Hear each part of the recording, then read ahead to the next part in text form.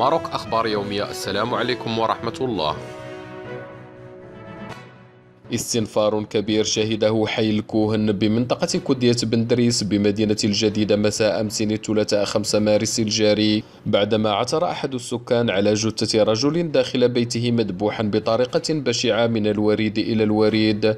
وحسب ما أوردته مصادر إعلامية لماروك أخبار يومية فإن الجريمة شهدت حضور عدد كبير من المسؤولين الأمنيين من مختلف الأجهزة الأمنية حيث تم مسح مسرح الجريمة ليتبين بعد ذلك أن الضحية تم ذبحه بطريقة بشعة من الوريد إلى الوريد وعلى بعد أمتار قليلة من جثته تم العثور على سلاح أبيض يشتبه بكونه سلاح الجريمة.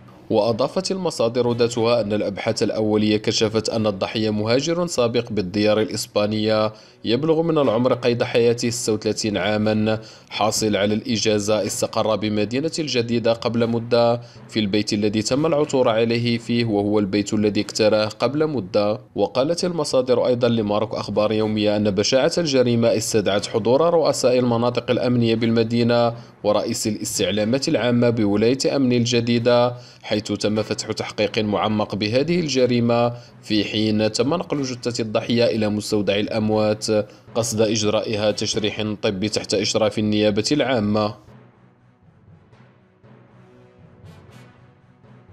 نشكركم على حسن المتابعة. قناة ماروك أخبار يومية.